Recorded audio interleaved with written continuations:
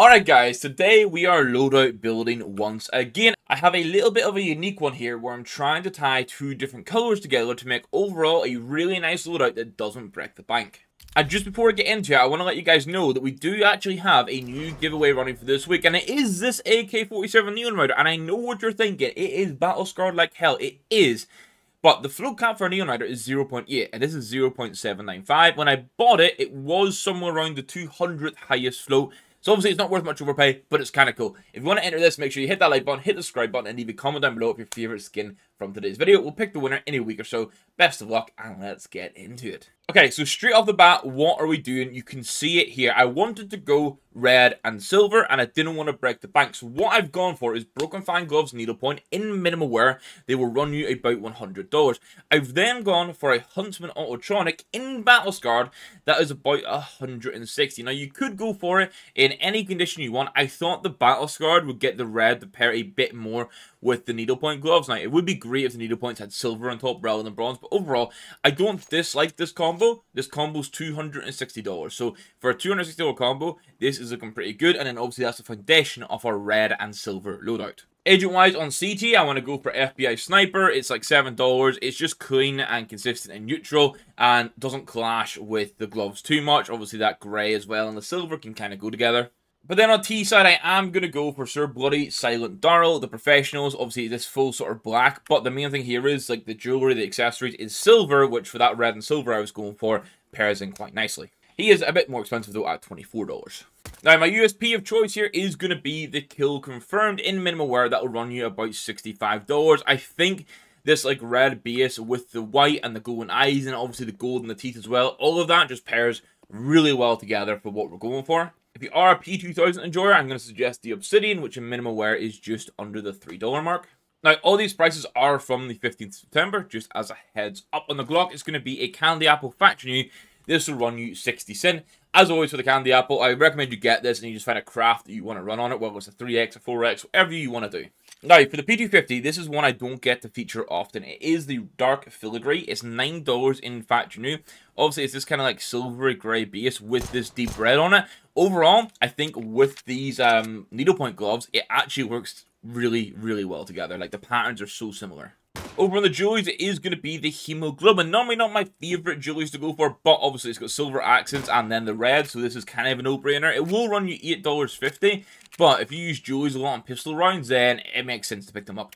Then we're going to have the 5.7 Urban Hazard, also factory new for this because I wanted to be clean because minimal wear you start to get too many scuffs and it'll cost you $1.50. On the Tec-9, there really is still only one option we can properly go for. It is going to be a minimal wear Isaac, which will run you $3.40. Now, thankfully, the Deagle has a pretty sick option in the Code Red. Now, it's $30, it's minimal wear. I Some people have a love-hate with the Code Red. For me, I think it's a pretty solid Deagle, but it's never one that I'm going to like go and build a loadout around myself personally. But it has the red, and it's got these like silvery white accents, so for what we want in this loadout, it's perfect. And obviously, you might be thinking already, obviously some of the reds don't match perfectly together. It's Counter-Strike, we have a limited amount of options to do so, so we're trying to pair it the best we can. As we jump over to rifles for the Galil, I'm going to go for the Firefight. We can argue all day about this ready orange, but the main thing here is it's got a lot of silver accents as well, so it is getting those two color tones in for us. I continue in that red or orange debate, we have a Bloodsport. Now, I know the further you go to Battle Scar, the more red we can say it gets, uh, but this is going to be my AK choice. I priced it minimal wear, which is $108, just because I know a lot of people like that minimal wear. Personally, I would start to look at like high float field tester or higher float, just to get that red or that oranginess hue to die off a little bit. The SG's got a pretty easy option. It is going to be the Darkwing, and it's only going to cost you 60 cent in minimal wear. Easy peasy, no worries. Now, over on the Scout, I did find it lacked a range of options, so I've gone for the carbon fiber in factory new, which will cost you about $4. Obviously, it's not red or it's not silver, but it is black, so I think that would be like the, the tertiary color, the third color that we have in a loadout like this. The op actually has a really nice option. It's the Chrome Cannon, but I'm going to suggest you get it in Well Worn, and that's from my time of using this in my red loadout in Well Worn. That loadout only lasted three weeks, but still, um, I think Well Worn, it tones down that shininess enough that it's not too in your face, and the scope just looks good. I think with these gloves, is actually, you can see here, is a pretty solid pairing. Then for the FAMAS, it's cheap and chill focus for $3. You can get a Valence in minimal wear. Obviously, this is grey black base, but it's got a lot of red accents for us. And even that, like that grey bit, you can kind of argue is almost silver. For the M4A1-S, it is going to be a Basilisk. I think the fact that this is minimum wear for about $6 is incredibly good. I know this one just endlessly goes under the radar as a skin. I've had an increased appreciation for it recently. I may have to pick one up to mix it through, but I think this is kind of cool. And obviously, for red and silver, that was kind of the goal that we're aiming for here. Is perfect. Now, in the M4A4, I could have gone for a Hellfire. I could have gone for a Magnesium. I ended up going for an Evil Daimyo because I did want that color red in there. Obviously, the Magnesium would be great for that sort of shiny silver, and you could then put red stickers on it if you wanted to. Just to provide you a very quick example, this is a Magnesium with the Phase foils from the RMR. You probably go with better stickers, but that was a very quick and easy suggestion that you could run that if you wanted to. And in the AUG, they have the Syd Mead, which is about $3 minimal wear. This is actually one of my favorite AUG skins because I think when you go in like silver, red, or yellow loadouts, it has enough you can kind of claim it for all of them.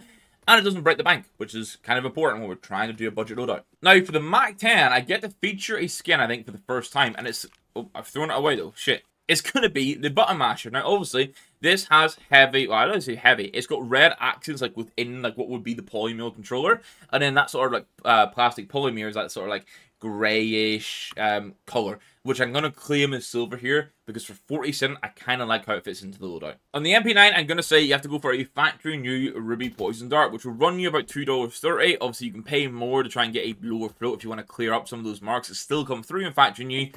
This is kind of the only option I have for the MP9. Uh, I think this is a skin, or a weapon class that we do definitely need to see more skins in Source 2 coming out for it. Give us some cool shit, Valve. Now, we've had conversations in the past about this Scumbria being grey, being blue, whatever you want. I'm counting in here because I think this sort of like silvery colour, at least on a base, for half a dollar, gives us what we need. We then have another Bloodsport for our MP7. This one is much cheaper though, at $1.90 for minimal wear, and also has a lot more like dark colour on it, which I think lends itself into what we're going for. Honestly, my MP5 kind of lacked options, so I went for the Gauss on the fact that it's like this sort of grayish, like working silver color that doesn't clash too much, and also you don't use it too much, so 40 cent for just to have it in the loadout is pretty fine. I'm going to go clean and basic for the Bizon here because I think going for the Lumen is just the easiest thing. It's a dollar, it's minimal wear. I actually kind of like that the magazine is a like torch that's going into it. Just, it's a cool play. It's black with this like red and whitey silver accent. Now, if you pick up a UMP motorized in minimal wear, not a battle scar that goes bronze, it actually lends itself quite cool. You get this really cool 3D effect skin. It's silver with red accents. It's actually pretty good for what we're looking for here. And then finally, I'll end it off on a Nova, which is actually going to be a graphite for just under $8 in factory new.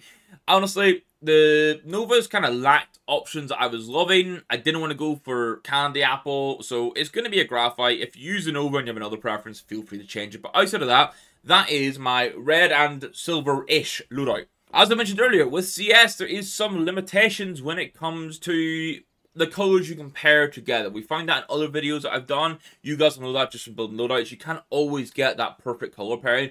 Green is one that's a nightmare for it with the emeralds and the green gloves. Um, but overall, this loadout has a knife and glove combo, gets you both your agents, and has every skin you need for your entire loadout. Like your entire loadout has a skin dedicated to it, so you can build a full thing, which is great. And it costs you $578, so under $600 for all of this is pretty damn sweet. And I always say 500 to like $800 is kind of a sweet spot for a loadout, so we're well in within that. And I am going to stop waffling and I'm going to end it there. I want to say a big thank you to the YouTube members that support the channel. It is greatly appreciated. If you want to see, find out more information about that, become a YouTube member, just check the join button down below and make sure you enter the giveaway for the Neon Rider. We'll pick the winner on stream, hopefully, and we'll also announce it in Discord. So make sure you're in there so you don't miss if you do win. And I said that, guys, thank you for watching. We'll catch you in the next video. Good. Bye.